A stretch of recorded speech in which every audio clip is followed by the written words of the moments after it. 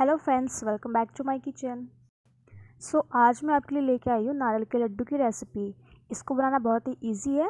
So without wasting time let's get start it मैं यहाँ पे कच्चे नारियल का यूज़ कर रही हूँ. मैं इसका अंदर का जो भी होता है वो निकाल लूँगी. और इसका बाहर का जो है उसको निकाल के इसको अच्छे से ग्राइंड कर लेंगे.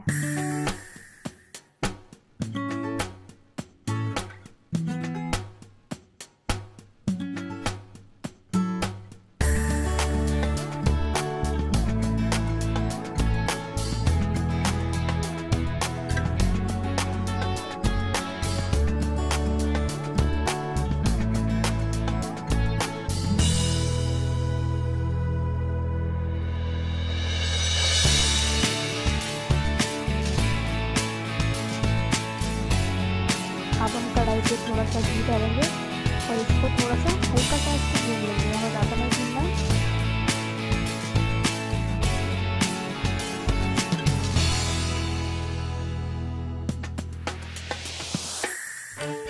दस मिनट तक कंटिन्यूसली हम इसको अच्छे से चला लेंगे।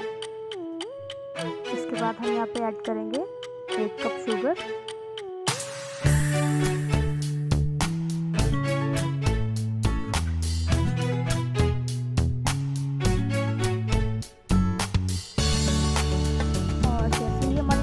होता है। हम उसको थोड़ा सा रख